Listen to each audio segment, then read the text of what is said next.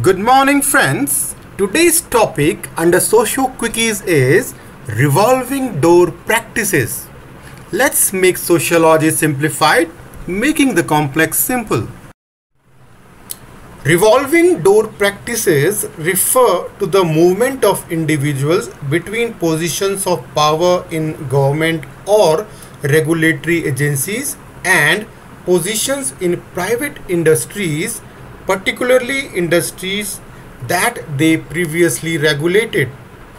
This phenomenon raises concerns about conflict of interest, influence peddling, and the potential for regulatory capture. In India, revolving door practices have been observed in various sectors, leading to concerns about conflict of interest and potential regulatory capture. Let's explore this concept further with suitable examples.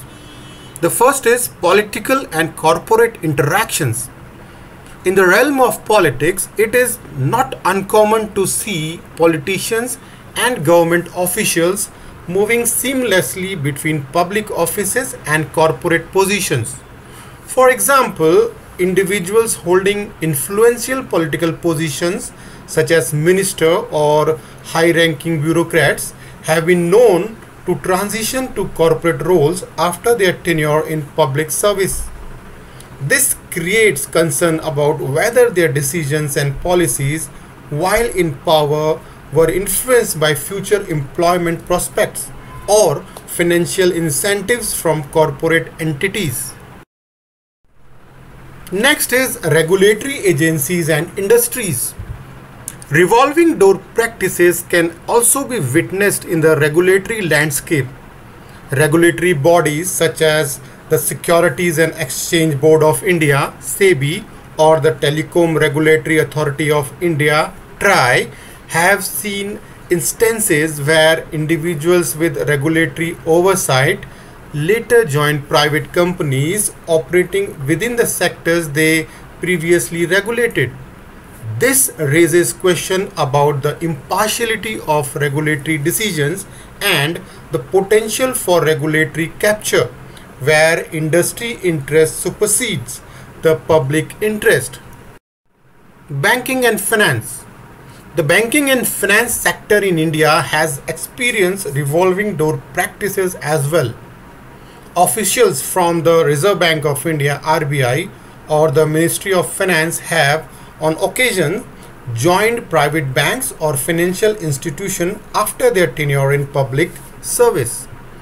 This again raises concerns about conflicts of interest as decisions made by these officials while in power may impact the financial sector and uh, subsequently benefit their future employers. Environmental regulation India's environmental sector has also witnessed revolving door practices.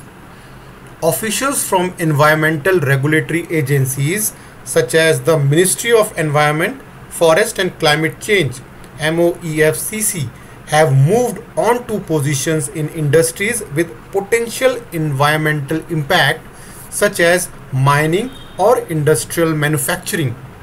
This again raises concern about potential conflict of interest and whether the regulatory decisions made by these officials were influenced by their future career prospects or industry relationships.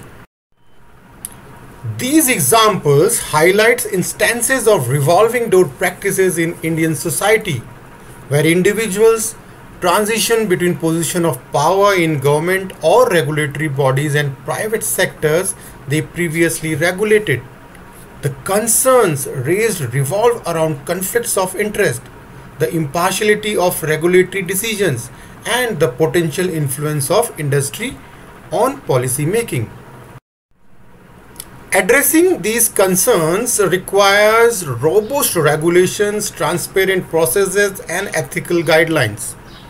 Implementing cooling off periods, strict disclosure norms, and stronger enforcement of ethical standards can help mitigate the potential risks associated with revolving door practices. It will ensure that decisions are made in the best practice of the public rather than influenced by personal gain or industry influence.